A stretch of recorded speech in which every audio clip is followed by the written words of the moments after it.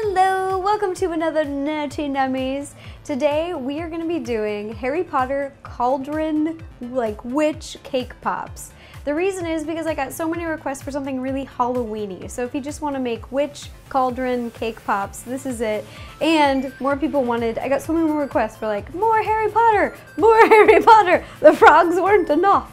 So let's get started. The things that I will be using today to make these will be big mixing bowl, this is a pre-made cake. It's a yellow cake using box cake mix, normal buttercream frosting, lollipop sticks, decorative icings in four colors, black, red, orange, and green. A couple of these little fancy tips, just the small size so you can do little designs. Black chocolate melts. These are not dark chocolate, these are actually black. So if you go the Wilton chocolate melts, they have black. And one of my favorite candies, nerds.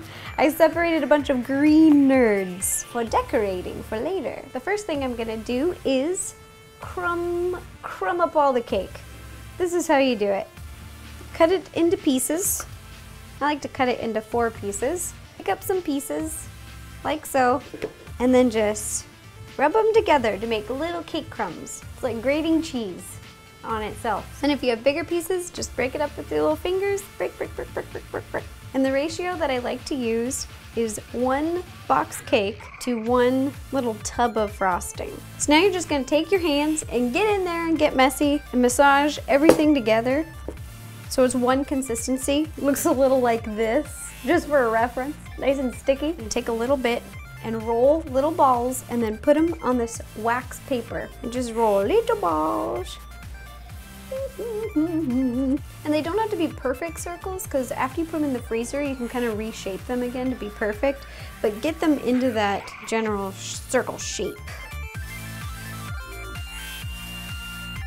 We got all of our little cake balls. Now we're gonna put them in the freezer for about 40 minutes and you can use this time to get all your decorating stuff out and ready. Now what we're gonna do is take these little lollipop sticks and you're going to dip them into a little bit of melted chocolate, like this. And then you're just gonna stick them about three quarters way into the little cake pop. The chocolate is acting like a glue to make sure that the cake pops stay on. The last time I did this, I dipped the pops in frosting first and the frosting did not hold very well. Oh, oh, oh, oh no, oh no! But then I did a little bit more research and they said that you should really use the melted chocolate. And I was like, eh, that makes sense. Now that we've got them all in there, we're gonna put them back in the freezer for five minutes. Ding, they're done and ready to dip. Here we go. Dipping it straight down and then we're just going to stick it directly back onto the wax paper because that will be the top of the cauldron.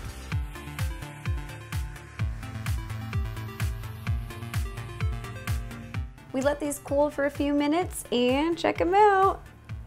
They're so cute. We're gonna start with red frosting and we're gonna paint flames at the bottom of the cauldron.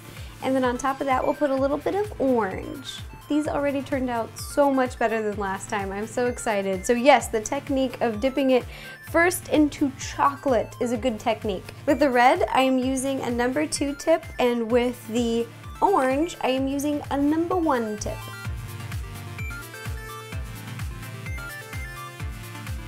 Ta-da! We did all the little flames all the way around. They look awesome. And now we're gonna take the black frosting and make the little cauldron handles. I have a number two on the top. So I first did one dot on the side and then a second one to kind of mark where I'm gonna start and end and then draw a circle over it.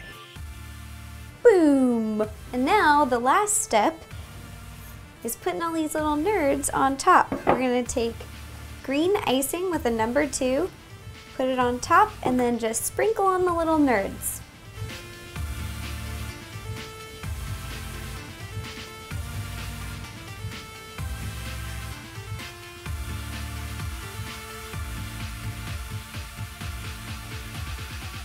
Ta-da! We made Harry Potter Cauldron Cake Pops. These are so cute. They turned out so well. So much better than last time when we did Mario Mushroom Cake Pops.